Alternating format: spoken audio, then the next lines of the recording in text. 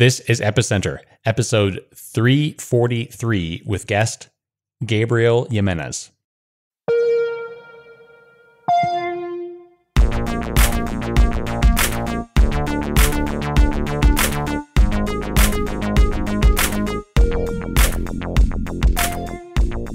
Hi, welcome to Epicenter. My name is Sebastian Couture. Today, our guest is Gabriel Jimenez. Gabriel is the creator of the Petro, the Venezuelan cryptocurrency. So, the Petro was created in late 2017, early 18, right around the ICO boom, and was a highly politicized Venezuelan project to create a cryptocurrency that would be backed by oil prices or oil reserves in Venezuela. And Gabriel was approached by the Venezuelan government to create this cryptocurrency. And he saw within that an opportunity to change his government, to change his country from within. Of course, it didn't quite play out that way because in the end, the government clamped down on the project, or at least clamped down on him and took the project in their own hands and took it in their own direction.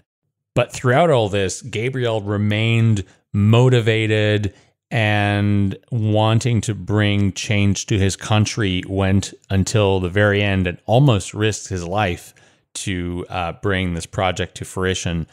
He is now living in the US where he was able to seek asylum and is working on other cryptocurrency projects with a goal to help the people of his country. This episode is a little long. It goes for about an hour and a half. In the beginning, we spent a lot of time talking about the history of Venezuela and the political situations that uh, led him to the point of creating a cryptocurrency for his country. And towards the end, we went into the f- sort of final moments when he has got to kind of sign the contract and sign everything over to the Venezuelan government and is held at gunpoint by military police. But I'm not going to spoil it, so I'll leave it there.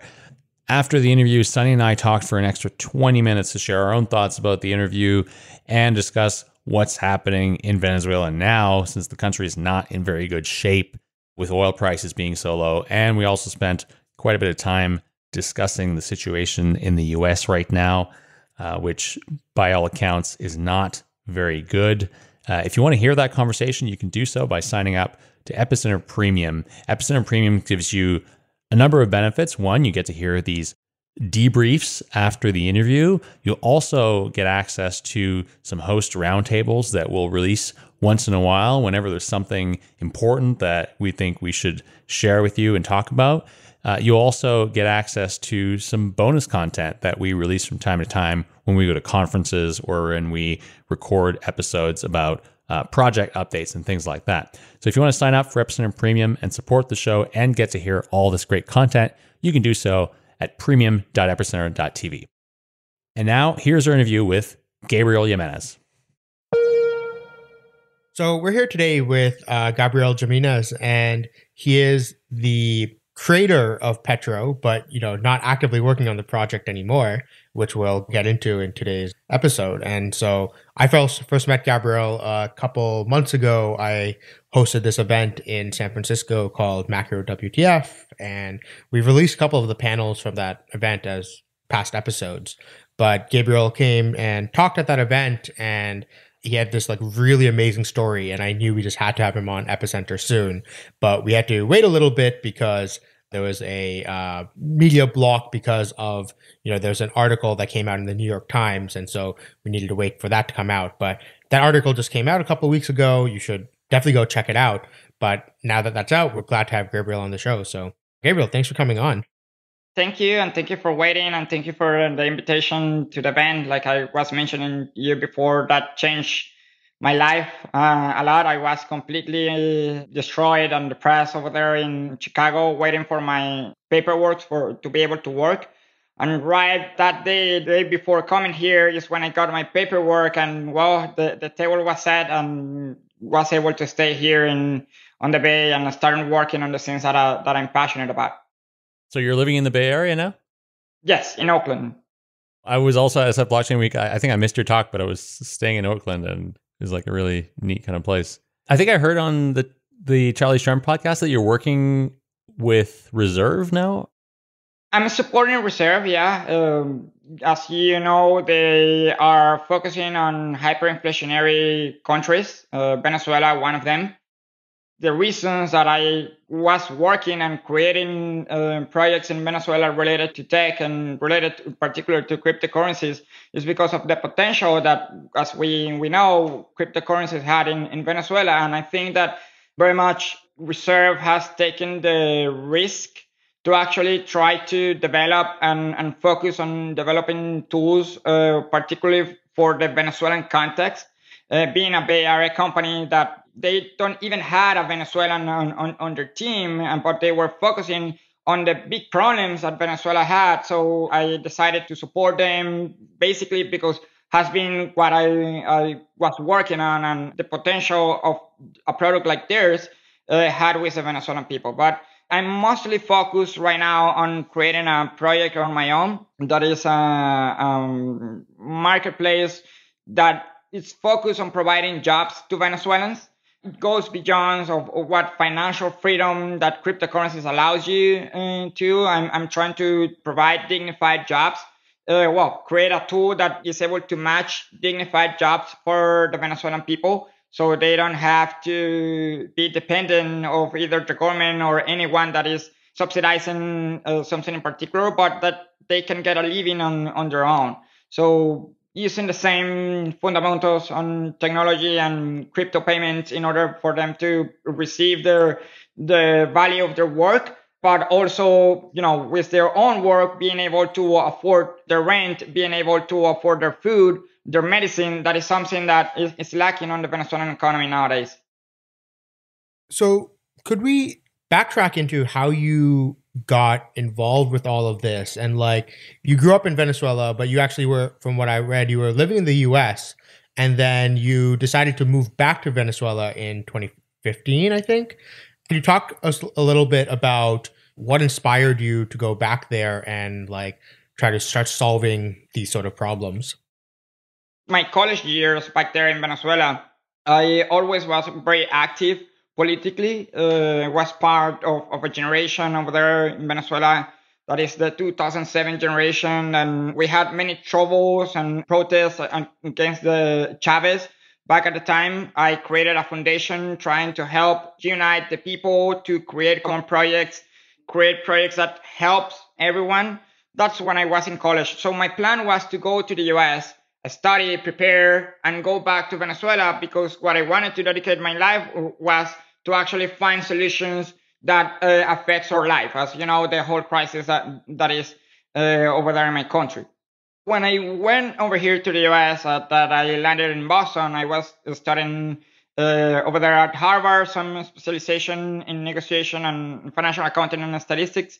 My plan was to go back. I didn't know when, but I knew that I was here in the US to prepare myself, to learn, to work, and then to go back. That's the reason why I'm here in the US, I started working after my, uh, my specialization, I started working at the US Congress. Actually, while I'm in the US Congress, I'm working for a Congresswoman Ileana that is the biggest district. I mean, it's the district that has the most Venezuelans in the US. So that's the reason that I decided to work with her, with her back in 2014 I actually promoted uh, within her office the first sanctions to the Venezuelan officials uh, that were violating human rights that particular year. The government killed over 100 people that, uh, particularly young Venezuelans that were protesting once again in 2014. And in 2015 happened something unique on the Venezuelan modern history that for the first time uh, since Chavez got power, 1998, the opposition won an election for a public office or, or, for a major power that in this case is the legislature. So uh, it's the equivalent to US Congress. For us is the National Assembly. I actually was renewing my visa in Mexico back at the time, but when I saw that the opposition won, I thought, as you know, many Venezuelans, a new hope was over there for change. For the first time, the Congress had a lot of power. For, but besides the power that Congress held, it was the Venezuelan people that wanted something differently. I didn't know how the political conflict will end up uh, happening, But the matter of fact that the Venezuelan people wanted change, it was a clear sign for me that it was a moment to go and support uh, that movement of change. I didn't have any plan. I actually went back to Miami, sold everything that I had. Uh, I was married at the time. My wife uh, support me because since the beginning I told her that was the plan, and you know we as crazy people we sold everything we had in Miami, and closed my office over there, and went back to Venezuela without even a plan. I just knew that I wanted to promote to change that uh, was incubating on the Venezuelan society. What I realized that many of my friends from my generation of 2007 they were purely into politics and there were many brilliant people uh, into politics and fighting for, the, for public offices and for all the, um, the political battles that are needed, and particularly in a, such a complex and corrupt country as, a, as ours. But what I learned here in the US was that big countries are made by big societies, by strong entrepreneurs, by innovators that are able, you know, to escape that political conflict and to actually build and challenge what is actually thought as uh, as only possible. So I thought, hey, with everything that I have learned and with so many people already fighting on, on, on the political side, I had already a digital marketing company and I thought that I could turn it into a tech incubator and actually from incubating new projects and tech projects, I could actually bring solutions to the Venezuelan society, and, of course, us as a company, but building solutions for the Venezuelan society. So that was my thought, and that was the reason that I went back. What was it like growing up in Venezuela, you know, pre Chavez, before he came into power in the 90s? Like, give us a sense of what kind of change the country went through in, you know, 20 years or something like that. When Chavez came to power, I was eight years old. So the majority of my experience from before Chavez got to power is, you know, for investigation and from my early memories that I was just uh, just a little child. However, the 90s and the late 80s were a moment of demise and economic crisis in Venezuela. Tons of corruptions already happening in the country and a lot of division and a sentiment of anti-establishment was within our society. Actually, Chavez tried to make a coup on the early 90s and he becomes widely popular for trying to make a coup to a democratic elected president, which is crazy that people is supporting, you know, a military coup that is going against the constitution. But the people was tired of their politicians, was tired of the corruption, and was tired of how the economy was being handled. So after Chavez is released, and Chavez is actually released because the, the very next president after the one that Chavez tried to do the coup released him because he was so popular and he wanted to gain like public uh, favor, release him. And Chavez was this anti-establishment figure. He wasn't from the two traditional political parties in Venezuela that they were ADE and COPEI it's very much here in the US, the Democrats and Republicans. So he was a complete outsider, claiming to the Venezuelan society to reform the state, to eliminate and crush corruption, that a new system is needed uh, that is by the people and for the people. And if you hear his speeches um, back in mm, mm, 1996 and 1997, 1998, the Chavez that you see, it's basically comparable to the speeches of, of Obama. I'm not lying on this. So if you hear his speeches and, and you say, well, that's the reason, you know, many people liked him. You know, he was a, a very charismatic person. And what he was saying was directly connected to the hearts of the people. And because of the sentiment that the Venezuelan society had, they overlooked the authoritarian characteristics that he had because a few years before he tried to make a coup. So he was no saint on that end. But Chavez was a, a widely popular figure. Venezuela was in the midst of, of the biggest crisis to back at the time. Uh, also because of the oil barrel, the price of the oil barrel uh, was declining. When Chavez got to power, it's not connected, but it is something to, to mention When Chavez got to power, the oil barrel price was at its lowest, $8 per oil barrel. So that's the lowest that it mm, has been. And Venezuela, that was dependent almost 70% of the uh, country revenue was mm, because of the oil, was very dependent of the oil price. So all of this connected to, you know, a sense that it's not that the country was pushing um, or was good. No, the country was very bad. And those were the symptoms. The sickness basically was, was Chavez. So, so Chavez is, is the result of the symptoms that the society had. But there is a change. When I was in my late teens, early 20s, around 2003, 2004, I was following the situation in Venezuela very closely. And myself and a friend had decided to invest in a Canadian gold mining company that was meant to mine gold in Venezuela. Crystallex? Yes, exactly. The, so we were young and, and naive and thought, hey, like we're going to invest in this company that is going to mine in Venezuela. Of course, as you know, uh, knowing this company, that didn't work out. But what we were really inspired in our young kind of ideals at the time, I think, is that Chavez embodied a character that was going to free the people, right? Like he was a man of the people and he was going to liberate the poor Venezuelans, the uneducated. He was going to liberate those people and give them what they deserved, which was, you know, the money and the profits from Venezuelan resources. And that he was against and he was an agent of change and he was against the institutions that were robbing the Venezuelan uh, people. And there was almost like this divide that you talk about. From our perspective, there seemed to be like divide between the working class and richer, educated class. And I didn't get this. And I didn't get the authoritarianism aspect until I moved to France and met Venezuelans, like actual Venezuelans, you know, people like you who left the country and they were like, no, Chavez is a monster. And I was like, what? what are you talking about? Uh, this is a man who's going to like free the Venezuelan people. I think it's very relevant today, especially like with you know Trump and everything, that these anti-establishment platform that Trump ran on is kind of very similar to that of Chavez. All right, maybe Trump is is not uh, you know like a working class person, but it appeals to a certain demographic, I think, and that's what makes it so interesting and appealing. I agree. And to be honest, Trump is more like latest year's Chavez than early year Chavez. And I will put you this example. Chavez got a coup on 2002 and he suffered a coup. He did. And the revolution will not be televised. It's such a great documentary. Yeah.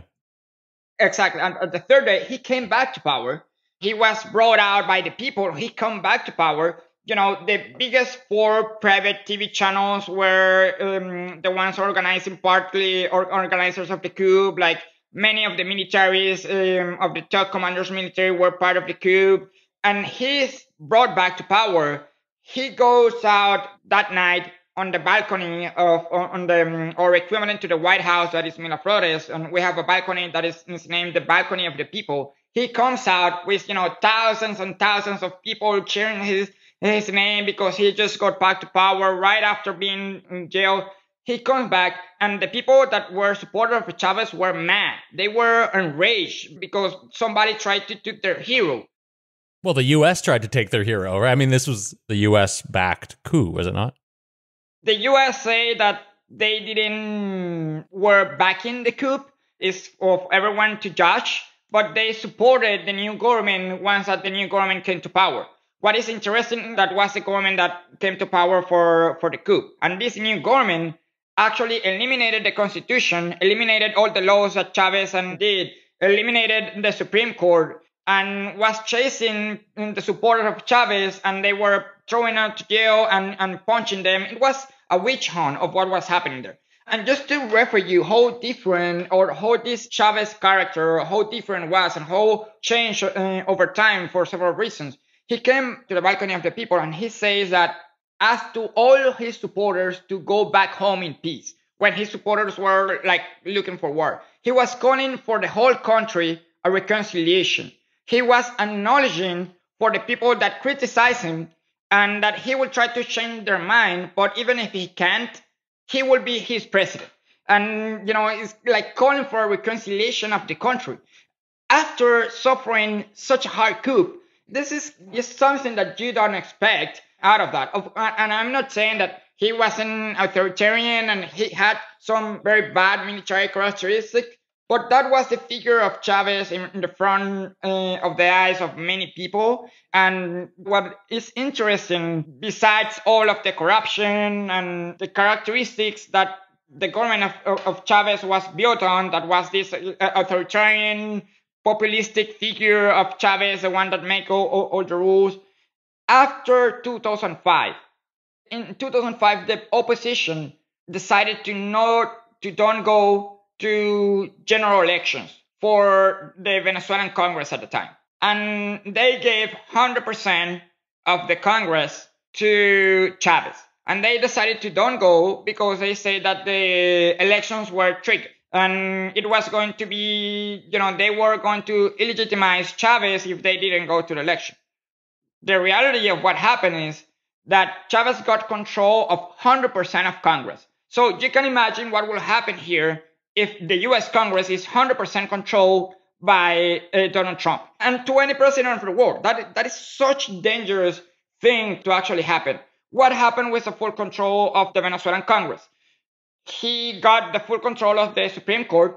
He got the full control of every um, uh, major office and he became kind of a monarch because the whole structure was already centered on the figure of Chavez and now every government body was completely controlled by Chavez because the opposition didn't participate in, in, in that election. So that is sickening of what he actually right after that he has so much power. He closed RCTV that was the biggest uh, private TV channel back at the time. He started expropriating different medias and start you know crushing political leaders and putting them into jail. He becomes a person that was unable an untouchable person that nobody could defy him because there was no balance. And on contrast, just for example, on contrast, in 2002, the coup that he received, actually the Supreme Court said that there was no coup, that Chavez had no coup, that there was vacancy of power because Chavez wasn't there. That was uh, what the Supreme Court said. And actually, the, the same Supreme Court, like one year after, sanctioned Chavez for something that he said on TV. So there was balance of power, very similar to what is here in the US. But we gave him like the red carpet to be, hey, you can be as authoritarian as you want because we are not going to fight our democratic uh, institutions. So yes, the opposition had also responsibility on that, on, on allowing to an authoritarian guy that many people already knew to have such kind of power and such a big pocket that he, he had because not only in his term the oil went from eight dollars per barrel, but it went all the way up up until one hundred and forty-seven dollars per barrel. And besides that increase on our oil revenue, he increased the debt of the country by 60 times. So you can imagine and this whole context that is happening. And then when he is going to Cuba to treat his cancer, he knows that he is very sick and he sits um, in a table, and next to him is Maduro. That you know, Maduro was like somebody on the political sphere, but it wasn't like a popular political sphere. Or many people thought that was going to be Diosdado, um, that was like the right hand of Chavez for so many years, and he sits uh, over there and he tells to his supporters. At this point, the currency crisis hasn't happened yet. Not that it hasn't happened there was still 17, 25, 35 yearly inflation. Capital controls were actually established in 2002 in the capital controls. And the capital controls over time were more strict. At the beginning were more light, but there was an, a, a crisis, but because we had so much oil money coming, basically Venezuelans were kind of like living um, a borrowed life just to tell you this this example, a painter in Latin America is a working class job that he paints houses.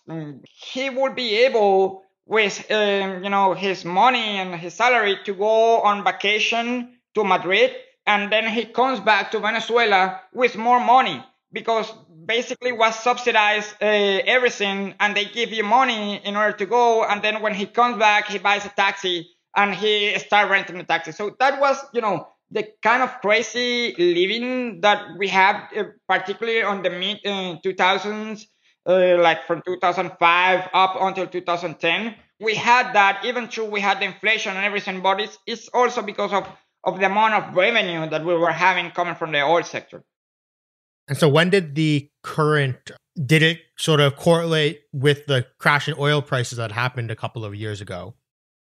Not only that, but that is the reason that I was referring how Maduro gets power. When Maduro gets power, Chavez asked to his supporters that if he is sick, if he dies for any reason, if something happens to him, he asked them and ordered them to vote strictly for Maduro. And he gave a blade to Maduro uh, in that moment. So he was like almost transferring power to, uh, to Maduro. And this mythical figure that has been created that is unbeatable electorally um, with tons of money, so charismatic with coups and everything. And this mythical figure told his supporters to vote uh, for Chavez. Then on March 2013, Chavez died. And in 30 days, are the elections. The elections that Maduro is a, is a candidate. So basically, the whole country was still in a duel, and he comes to power. But Maduro has no actual leverage and has no actually support from the Venezuelan society, from the different. He's not as charismatic as Chavez. Not it wasn't as charismatic, but also he was like. Is Chavez is the reason that he got into power. It was very hard for him to change his policies on every aspect. So anything that Chavez said was basically like a Bible for him to follow because he couldn't defy his predecessor because his predecessor was the one that named him president, basically. His power comes from Chavez's legacy, basically, and so he can't defy Chavez's legacy. Exactly. So not only that the price of the oil barrel collapsed, that has nothing to do with Maduro coming to power. But, you know, the whole debt that the country has created, the whole corruption scheme that it has created, the whole no uh, investing that money or, or saving that money for harder times or for being more productive, the collapse of the private companies because uh, expropriating them and going against them because it was very easy for us to import. Everything of that is happening. Suddenly, we cannot get more debt and the oil revenue collapse. And at the same time, Maduro cannot change the economic policies that were designed for $147 per oil barrel. And with that amount of debt and with that amount of support. So internally, the Venezuelan regime had, you know, like so many directions. Maduro didn't control politically the party as, as Chavez did because there were so many different ways. And he found himself trapped in some way uh, politically speaking, because if he removed one of the main policies of Chavez, he could have, you know, somebody from his party to actually uh, counter him or to actually don't care about what um, he was saying.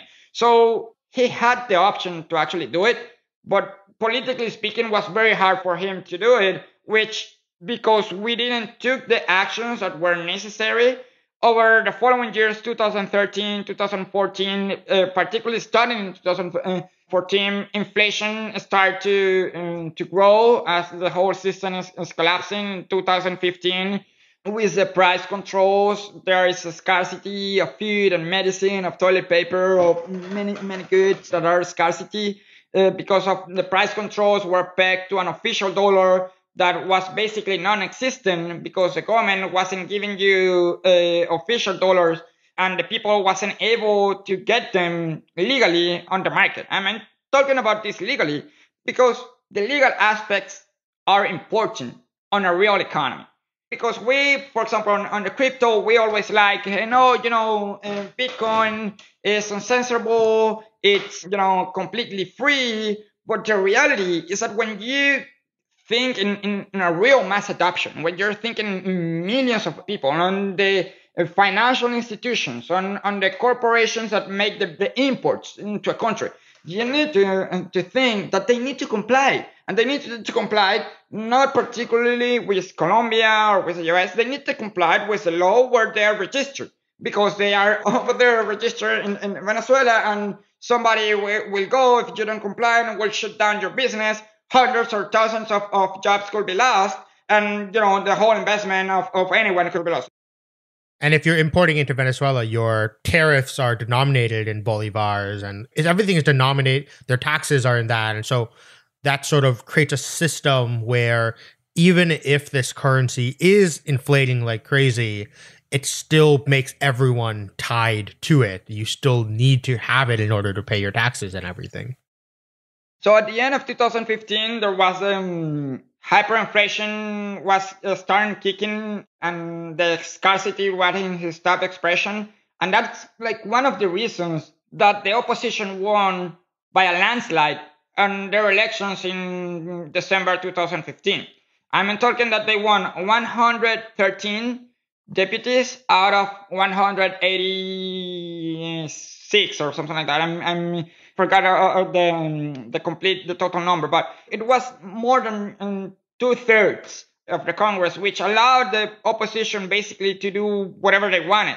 But from the get go, the government tried to fight back. They named as a new Supreme Court and that Supreme Court said that the people from the National Assembly, two deputies were invalid, so they didn't have the Supreme, the two thirds of the AN. I mean, there was a political conflict happening between a regime that is uh, has is authoritarian and is corrupted, and they are trying to hold on power, and there is this opposition that wants to get rid of that government as soon as possible and as fast as possible because that's um, what the opposition sees as a solution. That we all agree. We all agree that the solution is, you know, removing Maduro from power and having a, a new government. But the reality that we need to face is that we cannot have a country divided. We cannot govern a country or enter or trying to claim the power without many of the people that, that are over there. And that mistake and that conflict elevated the political battle and created a whole political crisis once again. So yeah, I mean, I'm sure we can, you know, we could talk for hours and hours about like, you know, the political crisis that's happened. Uh, but let, us try to uh, focus in on sort of now how was your calling of how you thought to solve the problem. And so tell us a little bit about why you thought cryptocurrency was a solution to the problem and where was cryptocurrency something that was already happening in Venezuela by the time you got there, or was it still not? Were people using it by that time or not? And how, if so? Starting to tell your last question, you can basically check Google Trends and see the keywords of Bitcoin or blockchain or crypto in Venezuela before December 2017 and you uh, it's basically a small group of people and but that is not even recorded on on the Google Trends, like the, the actual numbers on on, on how or how much it was searched. The reason there was a reason for uh, for that. Even by having the you know the cheapest electricity of the world, uh, as you you may know, the reason is that we because we had capital controls, many government officials were actually taking advantage of the lack of regulation and were blackmailing people that either hold crypto, mine crypto, or work with crypto.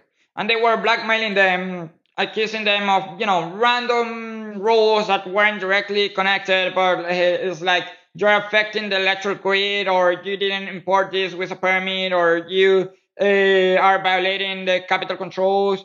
Many people thought because it, it is the common uh, the common thing to to actually in, in a corrupt system as ours uh, and because of the capital controls that the industry was practically banned by the Venezuelan regime.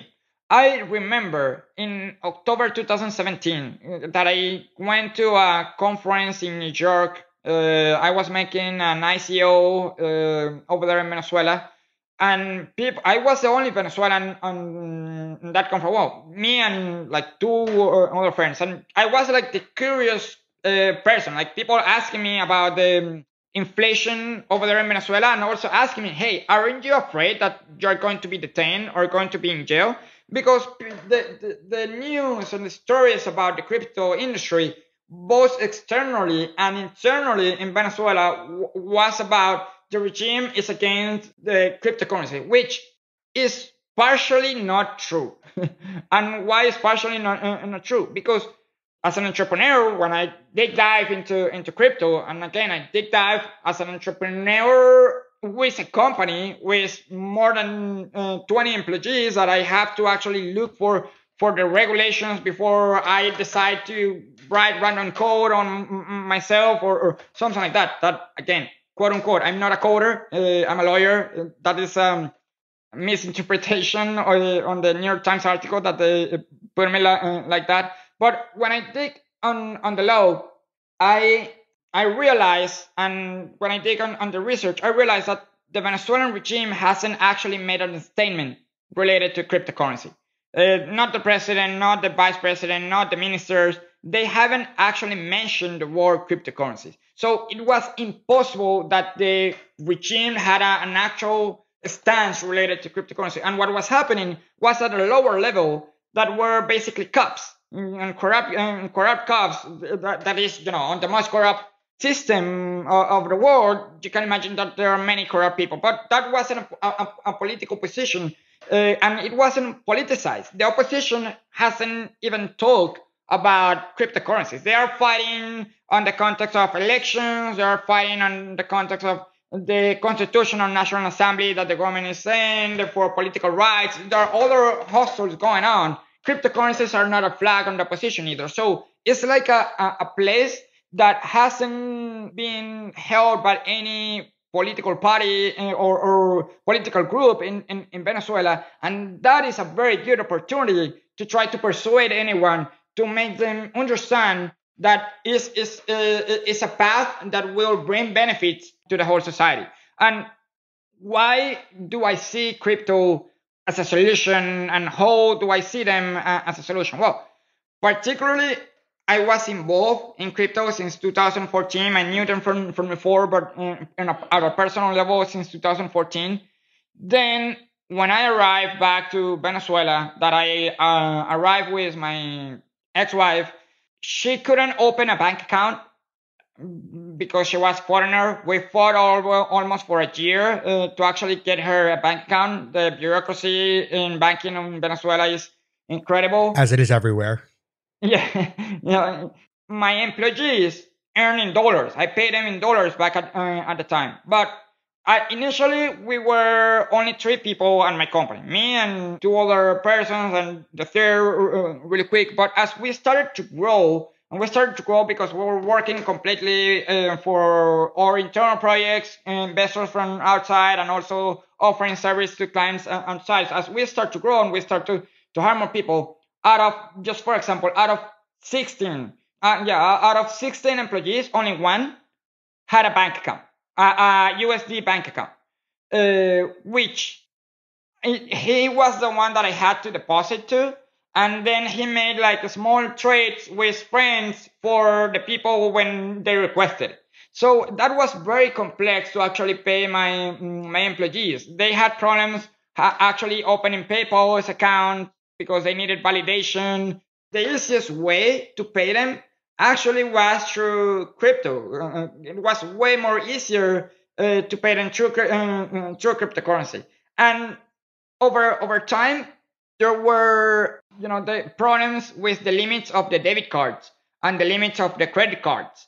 Uh, and the problems with the cash because hyperinflation. If you see videos of how uh, hyperinflation behaves in 2016, 2017, is is crazy how it goes. So cash became worthless. The limits of the debit cards, if you pay something on Friday night, you couldn't pay through the next day or, or because of the, the, the limit. Credit cards limits were outdated, so nobody used, used credit cards uh, over there. And so everything you had to pay through a wire transfer. You had to make a wire transfer for paying even a cab or to paying for groceries. It was completely crazy. So if you go, if you went to a liquor store or to a grocery store, you will see um, like a line of computers where people will go and log in into their bank uh, account and make a wire transfer to the uh, to the bank or to the liquor store. That that is how things were working on. Developing tech uh, tech projects, I was involved with many developers and creative, and, and you know my goal of finding solutions in, in Venezuela. And we started working on a POS system that will be able to connect to the financial uh, system in Venezuela. And people will be able to pay directly through crypto and will convert directly to bolivars, pay to the merchants in, in, in bolivars. So I started working on, on the project. I actually started doing some tests with credit card. We advanced in, in, in that project for, um, for a few. Credit card was the um, biggest uh, switch Venezuela. That is the system that interconnects the different POS and the banks and, and, and, credit, and credit card. They have like 86% of, of the market in Venezuela. We started doing tests, but because we are advancing on, on this, that's where I basically uh, start to research on the legal context of what was happening on the industry. And as more research that I that I do, I find that because of what is happening on the industry, that is basically being blackmailed by uh, the corrupt cops, we are not developing developing solutions. The Venezuelan people are not developing solutions or the potential solutions that could be developed in Venezuela that are needed in Venezuela that you don't face those challenges here in the US aren't being done because it's not possible to actually implement them at scale. So at the same time, I realized, okay, this is not something that probably I will be able to solve myself. Even though I really bet on me but uh, this is something that goes way beyond. It's because there is this opportunity over here. Even if we are not able to develop this POS system, we are going to basically eliminate the capital controls if cryptocurrencies are allowed. Because you have the capital controls that uh, prohibit you to actually exchange your bolivars to uh, to dollars that are not in an official way if out of the sudden you allowed private money, you basically allowed the access to the international market and you are at the same time allow to any uh, project being developed in cryptocurrency to be basically implemented. So that, that would be a game changer. And that is uh, when we start to, to work in our strategy to work and to, to go out of the shadows. And instead of being hidden, instead of, you know, writing articles or I our strategy was to go as public as possible. We were a company in Venezuela. The Wall Street Journal went to actually make um, a story about us because we were growing in the midst of, of, the, of the chaos that, that we had in, in Venezuela. So we had certain authority over there in Venezuela, and we decided let's use this and let's talk about crypto, not about our projects. Let's talk about how could um, how cryptocurrencies could be a solution for payments how cryptocurrencies could be a solution for saving, how cryptocurrencies could be a solution for avoiding hyperinflation. And on pitching side, we have to you have to understand that the Venezuelan regime, we had to be cryptocurrencies had to be appealing for them. And in order to be appealing for them, they had a big problem back at the time in 2016, 2017. Like it was their enemy, basically. That was a website named DolarToday that is a, a website that shows the price of the um, black market of the dollar. Basically, what the way that we portrayed our speech on conferences, on the media, on news articles over there in, in Venezuela was that with cryptocurrencies, people wouldn't need the US dollar.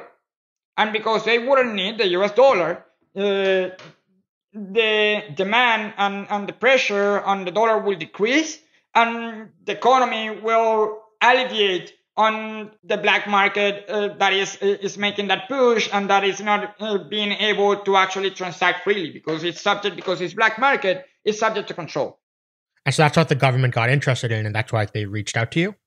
That that that was my speech, or, or our speech in different times. At the same time, in order to not be alone, we started to gather other entrepreneurs in Venezuela that were of the crypto industry back at the time, and it happened something magic that nowadays is completely different and what happens in, in many countries is completely different. Because we were all threatened to be in jail basically. And that was a, a, a danger an actual danger uh, there was no discussion about ethereum or bitcoin or dash whatever we were all uh, on the crypto industry and we were all out there speaking about the benefits uh, of, of, cryptocurrencies could have in, in, our country. We gathered also, we basically created a, a community of entrepreneurs uh, that were decided after like we, we went out, many other people were also coming out with their projects and we created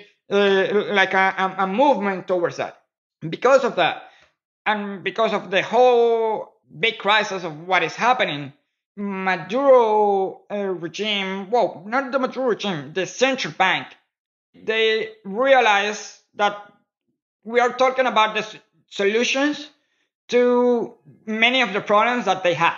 And they wanted it to know what was actually happening uh, with, uh, with crypto. So they request me and um, other companies to make an explanation on cryptocurrencies at the central bank for a very small group, a technical group. And there were some directors of, of the central bank uh, at the time. What I find out on that meeting that was particularly interesting is that the central bank knew that they were creating inorganic money. They were doing the bear system and, and they knew the hyperinflation basically was created back then. So for example, when we were explaining Bitcoin and so on and so on, they were like, Hey, no, that's the antithesis of what we're doing. So they were looking at it like surprised and they very much knew the mistakes that they, um, they had. But um, because and many of them had years and years uh, uh, on the central bank. What I realized over there is that even though the central bank knows the mistakes that are not publicly telling that they know that they are doing it wrong, they are aware of the problems that they uh, that they have, and they're actually you know interested in, in possible solutions. There was one guy that showed a video that day, show a video of Chavez talking about the petro and he was saying to create an ICO of PDVSA and, and, and, Petro. There were a bunch of you know directors over there, but there was no one with political power actually over there. But when I see that video, I realize on on my head that if this is actually pitched to the right people that is able to make the decisions and everything follows uh, uh, follows and we portray that it's Chavez, the one that uh, you know created these policies that cannot be changed, but Chavez is the one that is creating this tool that is changing the whole spectrum. Uh, is, is Chavez itself the one that is going to change the, uh, the basically the legislation? This will be the pitching that they will be able to internalize as okay we can, uh, if we do this, we need to, because we, we will do it for Chavez and we will fix all of these problems of, of the economy and will be an idea of Chavez if we, if we, if we apply it. Was that your idea or was that someone else? Whose idea was that to do that little mind trick? That was my idea. The, the thing is that how I accidentally see that, uh, that video on that central bank meeting. Uh, and then because other people can contact me. Carlos Vargas can contact me because I was in the media. Many people was contacting me. And when he tells me that he can show a deck to the to the VP, if I had a, a project uh, and I mentioned and mentioned him, well, we can actually put this name and we can actually tell that in order to materialize Chavez's idea, we have to make cryptocurrencies legal. Uh, we are gonna even make it for non-profit. I mean, we are not going to charge a, a, dollar or a bolivar in order to do it. That would be a pitch that they will basically say yes. And we made a small speech pitch deck of, of about nine pages. And we gave it to, to him. We literally were focusing on our different projects, still uh, publicly speaking, trying, you know, to have a positive statement uh, from the government related to, to crypto. And then uh, after a conference in, in Venezuela that Maduro saw a Bitcoin mining machine and asked what was that, and he was told that was the future uh, of money, that was blockchain.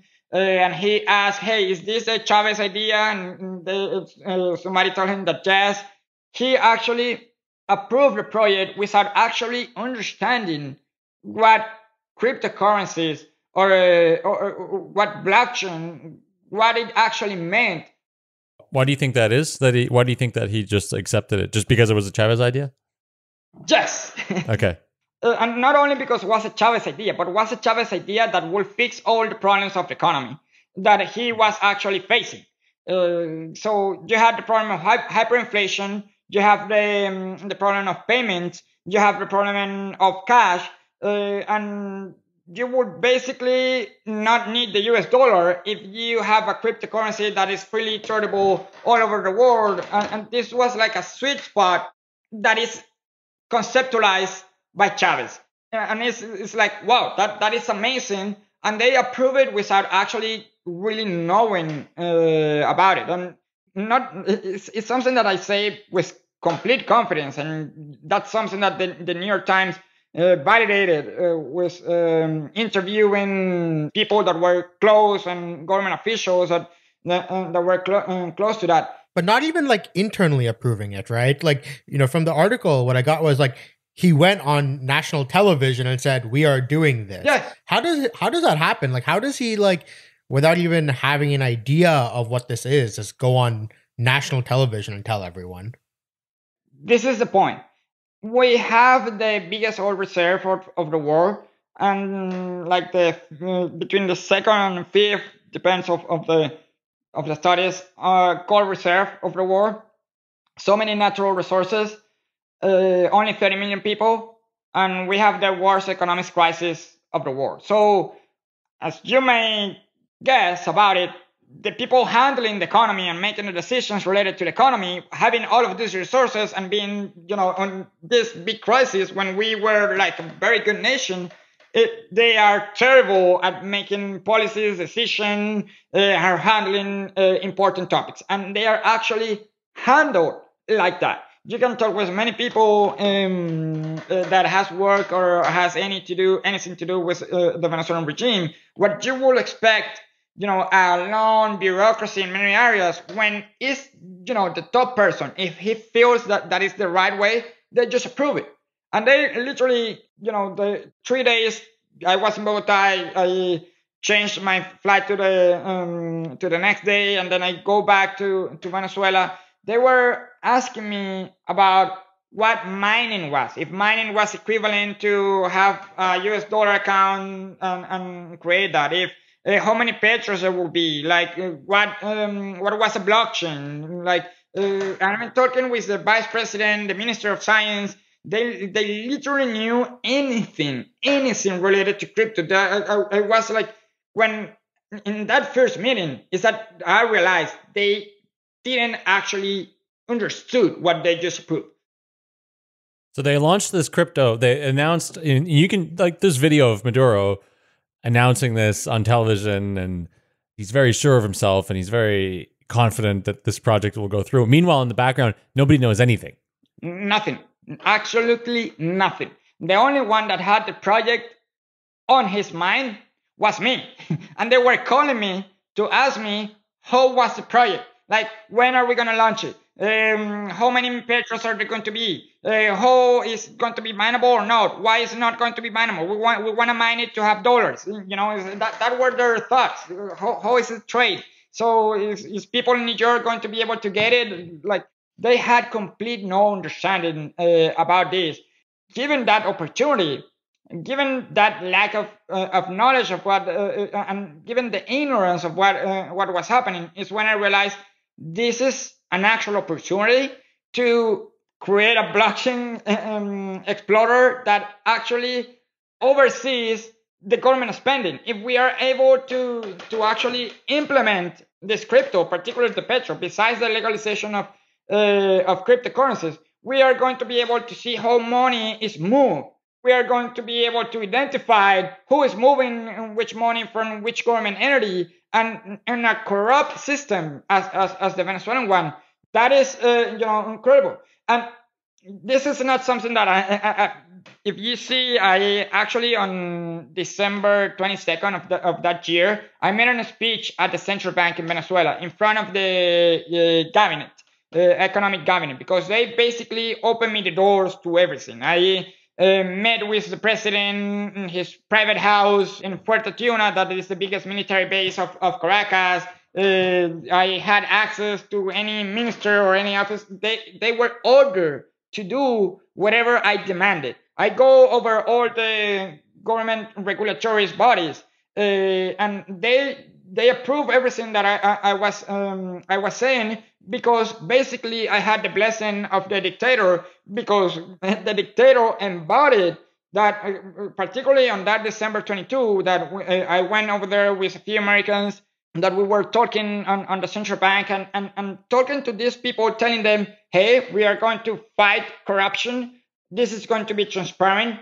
And people is going to uh, be able to audit uh, spending. This is what you're telling them. This is what you were saying yes and not only saying but that's what we were building and that's what they were approving and that's what the legislation on the other side that I was creating. They, they why were they approving this? Like, you know, why was the corrupt government sort of signing off on saying, "Yeah, we want more transparency into our corruption"? Uh, well, in Venezuela, basically, it's because of the populist guy said so. So, on people didn't understood very well what crypto were, uh, but Maduro said that we have to do it. So because Maduro said that we have to do it, everyone was following on. Of course, I knew from the beginning that that was going to be a very small window, a very small window that that you know ignorance was going to um, to remain. For that reason, I strategically placed to launch the um, the ICO by February 20th. This is you know we you have been involved in crypto projects, so basically we are like at one percent on December 3rd. Uh, we haven't even conceptualized any white paper or anything. You know, we were an office that we pay $40 per month. At, at the time, we have more than 50 people, uh, but we basically had zero. But I pushed to put it on February because I wanted to implement it and to release it before they were able to hold it and to stop it. That was my bet. Basically, they actually tried to stop the project and they uh, start to torpedoize the, the project.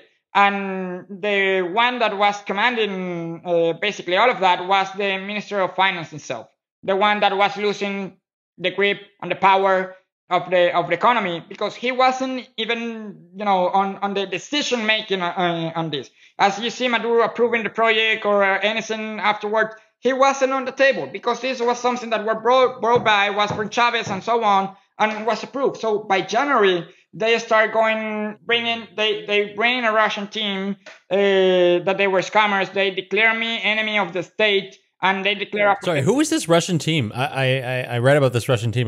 Can you disclose who they were?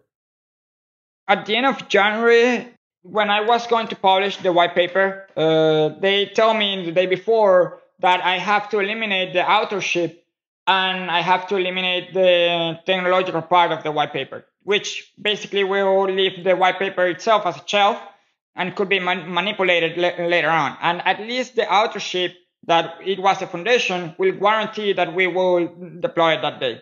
So after it's signed by the president, the white paper and publicly say that it was John Venezuela the one that did it, I challenged the Minister of Finance and published the white paper with the um, authorship, with the authorship of uh, that that we were ourselves to say uh, because that way the next week we would put it the technological part because that was what was promised to uh, to us. So it was like a guarantee that they don't steal the project that uh, was ours. So when I published that, they sent me the political police. They declared me enemy of the state to me and the foundation. And then they basically told me because the project was of the foundation, we weren't owners of the project anymore. So who declared you enemy of the state? It was the finance ministry that did it? Uh, no, the the the vice president, uh, Tarek Al.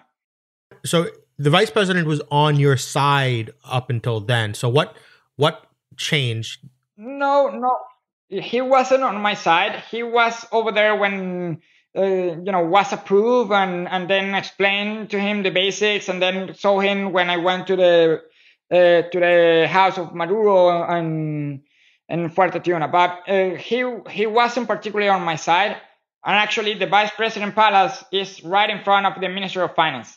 So, the, and as you can imagine, they are like the two most corrupt people uh, on on the country. So, actually, he declares me an enemy of the state because I challenge the Ministry of uh, of Finance. Uh, so I the prayer wasn't ours anymore. Basically, I knew that they would try to manipulate the the project or to do something else. I, I, my strategy was, well, they have the ICO in about four weeks. They need me. Uh, they will, they will not find anyone else that is gonna be able to pull this project off in such a short time because they haven't done anything. It's completely impossible that they do it. Uh, that was my, my thought.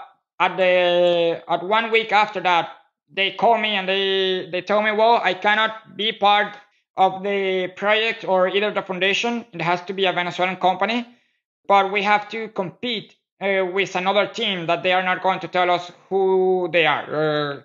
So um, my sources internally from uh, from the people of, of the superintendency told me that they were Russians. We some team members and we the only company of, of the different companies that uh, integrated the foundation to, that said yes was myself to actually put his name on it.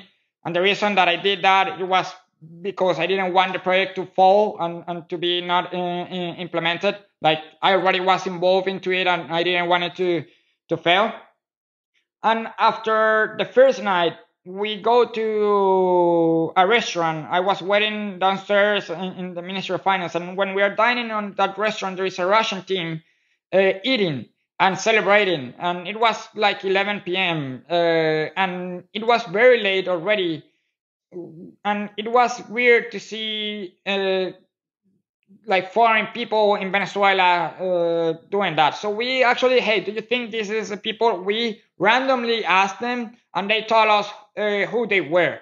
Uh, that they were there for doing the Petro, and we were like completely surprised because the Petro was our, our, our project we didn't have a contract or anything, but the Petro was our creation and prayer, and they were telling us that they were doing the Petro. So they tell us their names, and we uh, decided to do a research about who they were. And there was a model, there was a um, yoga teacher, uh, there, there was a, a former uh, fraudulent guy from that was sanctioned by the U.S. and the CME and Chicago for doing fraudulent transactions. So th- there were basically completely people, random people and you know with no actual background on what they were going to supposed to do and they were there celebrating that they were going to do the Petro, uh, you know, the project that I, I, I was creating in order to fight this uh, scheme and, and, that I announced that it will create this transparency and so on, and the legislation that was underlying it. Uh, it. So I create a, a brief and I presented myself. I did. I say that I didn't care that I was an enemy of the state, but I wasn't going to uh, let this project uh, die. And I went to the Ministry of Finance, to the Superintendency, and to the Ministry of Science, and I g- gave them uh, a brief uh, saying that those people were scammers. Those Russians were fraudulent. They were fraudulent people, and they were they were scammers. The team uh, that they were doing. They didn't react. They told me that I was jealous uh, because there was a Russian team that that was better th- than us, uh, and that's how they reacted, which is which is completely completely nuts. Uh, so I actually tried to fight that back, and they actually tell me that is actually okay. The Russian team desisted. Is guys, you are gonna be the ones that are going to pull it off and going finally going to implement it and deploy the project and so on. they told us to to go to the um, uh, vice president palace. Over there, we give them the documentation, wallets. We do adjustment to the into the websites and so on. Uh, like for around eight hours that uh, that day, up until 8 uh, p.m. And then in that moment, around 8 p.m., arrived the Russians to the to the main room of the vice president's palace. That is the Simon Bolivar room. That is where the ministries meet uh, on television and they're making decisions and so on. And over there, they arrive and they arrive with uh, champagne bottles. Uh, and they start doing champagne showers in front of the Venezuelan seal and taking selfies and they uh, signed the, the, contract on the development of the project. so uh, right in front of our faces, I was over there with um, uh, an engineer from another company, but that was working in, in, together with with us, and it was unbelievable. They they signed the contract that we were supposed to sign, and that we were signing it in a pro bono uh, way. And well, then they they came and I told them, hey, what is happening? And they told me, well, no, they are doing the Petro, but but it's it's okay. You were you told, no, don't worry, you're gonna still be able to sell it. And I refused to actually. I'm not going to sell something that I'm not doing because it's a fraud. Uh, and that people is fraudulent. I already told you that it's fraudulent, uh, fraudulent people. They come out with a contract and that they were offering money and so on. I, I refused to sign that, and I told them I need to uh, to actually uh, because I knew that I had that only moment to rescue the project. So after there is a collapse on the website, that my friend is able to mimic the website on national television and so on. He comes back to wh- where I was, that I was negotiating with um, the main aid of, of economics of, of the country at the vice president palace comes the chief of staff of the vice president that actually was indicted two days ago uh, by the U.S. by the Department of Justice, Jose Ramirez, and he um, come out screaming uh, and ordering our detention and ordering us that we are not uh, leaving and if we try to communicate with the clear war, we were going to be sent to the, the Hezim. He ordered us to make uh, several other corrections that he wanted, and that we would only be free whenever he wanted, if he wanted. And he ordered the guards to come, the military guards that protect the military palace, and they pointed us on, on the guns. Uh, and they told us that we actually had to, if we tried to do anything, we knew very well what, what would happen. So all of that happened in, in, in that moment. So, so the military police comes in and basically under the pressure of being shot or the threat of being shot, you're told now, okay, you have to do what we do what we want. Yeah, finish us. Yes, exactly, exactly that. And basically, it was because I was denying myself to actually sign that document that they were offering me, a document that was basically saying that I was going to sell a project that was a fraud uh, and that I was already telling them that was these people was a fraud, and and I want I wasn't going to be able to sell it. Did it occur to you at any point that this could happen? That things could escalate? I mean, like you know, you're dealing with gangsters, basically. I mean, if you you sort of extrapolate yourself from this story, like you're effectively dealing with gangsters. Did did it occur to you that it you know when you started working on this project in the beginning that at any point your life might be in danger? Yes, completely. But this is a question that I faced internally uh, myself. There is a slim opportunity, a very slim opportunity to actually change something that will do good for many people, that will eliminate the capital controls, that could create something for more than 20 years, nothing else has worked. You have fought against it, you have rallied, you have protested, you have worked in the US against it. You came back to the country to actually, with the hope of change, those hopes have uh, deflated. There, there was a slim opportunity with my, not my hands, but with my team and, and, and us to try to actually do something that will change the life of millions. And we dream about it and we said, yes, let's let's try. we, this was a big discussion team. I lost a partner uh, when we decided to actually try this, but it was a risk that it worth for for the possibility of change because I'm I'm not the kind of person and I uh, that's the reason that I'm here on the bay. I'm not gonna wait for the politicians to bring solutions for uh, for us. They have failed us greatly in 20 years. They have failed us greatly, and I'm not a, a, a guy of guns. Uh, I'm you know I'm very skinny. I cannot even fight, but I can try to put ideas out there and, and try to build a solution for problems that people is facing. And I'm not gonna stop either way, even while I was in Venezuela. I'm not gonna be saying like many Venezuelans does. I'm just gonna wait for the government to change to build something. No, people need now. People need solutions now because that stupid government is affecting them.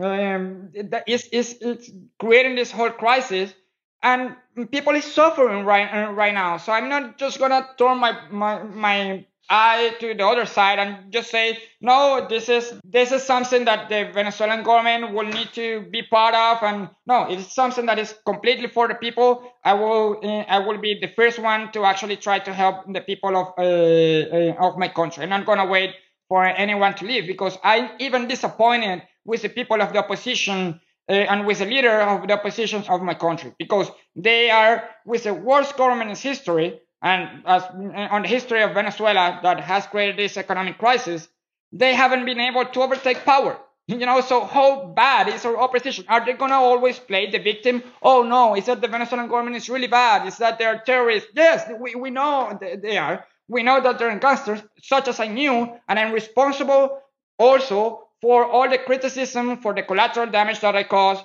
for for for the manipulation that was caused because of the project, because I tried to do something else that was completely completely different. But but by my actions and by my ideas, I created a project that ended being used for um, manipulation of the Venezuelan people, and that's something that that is a pain, and that I you know every podcast every news, everything that that I do, or every story uh, um, about me, there are always going to be Venezuelans saying, you know, that I was being paid, that, that I stole billions, that I paid you, or you are doing a PR campaign, and I have to accept that because it's completely understandable of people that have been oppressed and repressed for for, um, for so many, and I see a guy that you know the tool with whatever intention that I had and as being used to, to manipulate and oppress people. That is something that, that I carry on, on myself.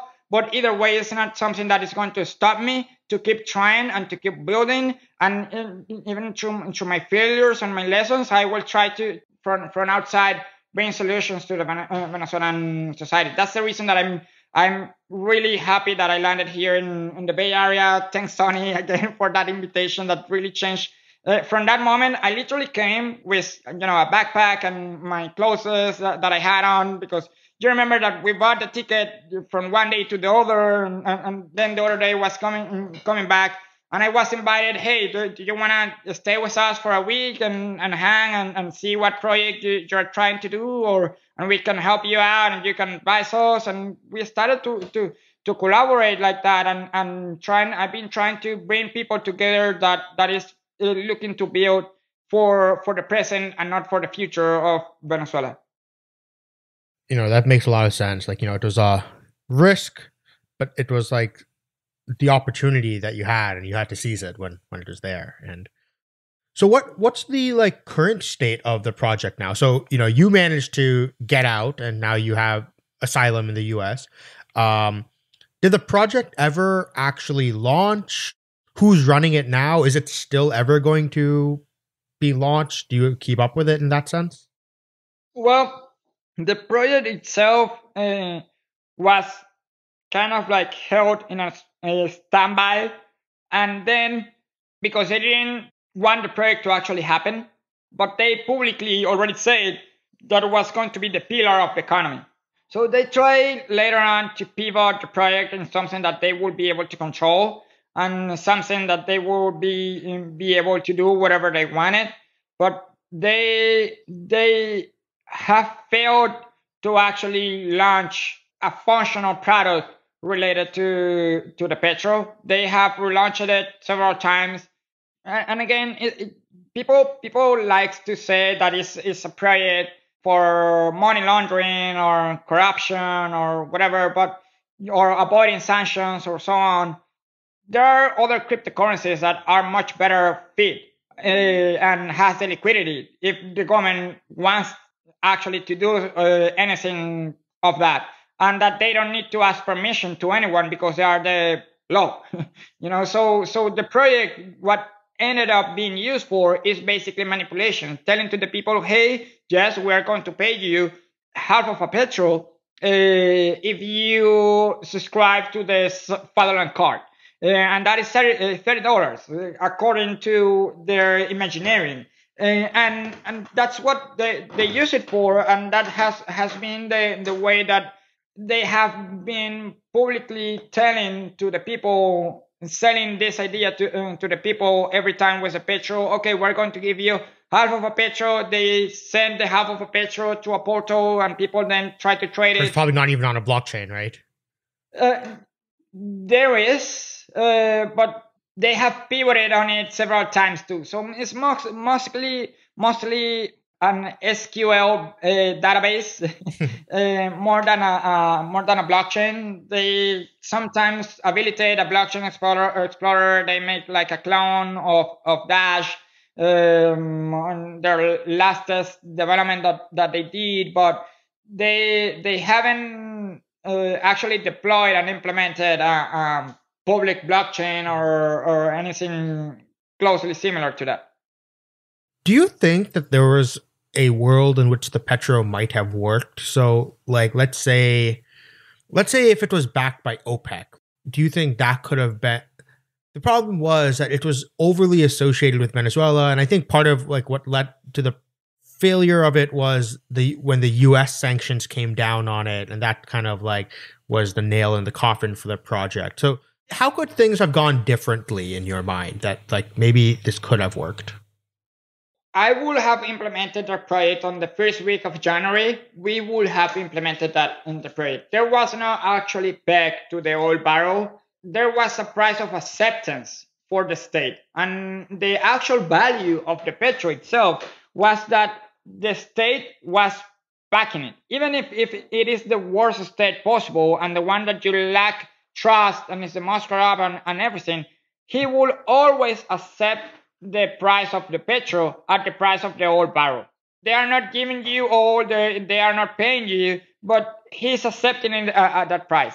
That means that oil taxes uh, are are paid from the oil companies that are, are extracting oil are being paid and on Petro uh, could be paid by Petro using that reference that uh, services that any tax or any government contract uh, could be paid and anything um, will be always accepted to uh, to that uh, to that price. That was the actual value, and that was encouraged for the whole country to actually do so. The potential market of what the Petro had is bigger than it's still nowadays the whole cryptocurrency industry had only with the Venezuelan with the Venezuelan people. That for me was uh, very valuable, and if it would have been for the Minister of Finance coming in by late January and trying to stop the project uh, because he was kind of still figuring out by late December, early January what was that uh, about. We would have been able to set it. I don't think that the actual peg with the oil uh, would have actually made any difference. And actually, there is a confusion with people who are saying, well, the Petro is the oil, you're going to give me the oil. Maduro trying to explain the petro created that confusion. If you see the white paper, that is what you need to see if you're analyzing a cryptocurrency. There is no actual peg to the uh, to the oil barrel. The main reason for that it was unconstitutional, against the law, and I didn't wanna uh, compromise the future of my country by uh, creating technically futures of uh, of the Petro for uh, creating revenue to um, to the Venezuelan government that is going to, going to end up in corrupt pockets. So basically, it, if they are uh, issuing one Petro because there was going to be a limit of 100, if they're issuing one Petro, they are forcing themselves to actually accept it to the to the um, price of the barrel. So that that is basically um, the way that we uh, we design it, and that would have worked, particularly in a context where the Venezuelan government wouldn't be as sanctioned as it is today, and the petro wouldn't be as sanctioned as it is, is today. Because besides the technological facts, still the sanctions play a huge role, which makes you question also: was it sanctioned because was there fear of the status quo of the US dollar uh, by having a currency that could have rallied support from other states that are not particularly aligned with the um, US and could use this currency without any intervention of the US and therefore in order to prevent that happen they actually sanctioned it before it was even born you know? So so that makes you question uh, and those are valid valid questions that uh, that we will need to to have but again from the US perspective that was a tool for manipulation a tool for corruption and that's the reason that they uh, they sanction and thanks to the sanction actually is the reason that I was able to escape from the project. On March, that I was trying, uh, after I told the president again that the, uh, the Russians were fraudulent, that they weren't doing anything, that we had the project already done, and I tried to fight like a couple more weeks from February to March. And then in March, they threatened me again that I couldn't speak uh, against the project or the government. Uh, I would be thrown out in, in jail. I was looking for ways to go out, and when the project was sanctioned, I used the sanction to say that I wasn't able to keep working on the project because I had it wasn't the company of the project, but I had uh, an American company and I had family in the US and I couldn't keep working on the project. That's how I how I pull out of, of it. Well, thank thanks so much for coming on and telling us your story and all this uh, interesting uh, also kind of historical uh, aspect to this project and how it came to be and everything that came before it. And so thanks for that and, also for sharing your courageous story because it's I think a noble attempt at trying to fix one's own country, especially in the face of uh, such such such a challenge because it is uh, in this case I think it was quite a big challenge that you undertook. Thanks for coming on. Thank you. It doesn't end here. There's much more to this conversation, and you can hear it by signing up for Epicenter Premium. As a premium subscriber, you'll get access to a private RSS feed where you can hear the interview debrief, which goes on for an extra 20 minutes. You'll also get exclusive access to roundtable conversations with Epicenter hosts and bonus content you won't hear anywhere else. Go to epicenter.rocks slash premium to join the community and support the podcast.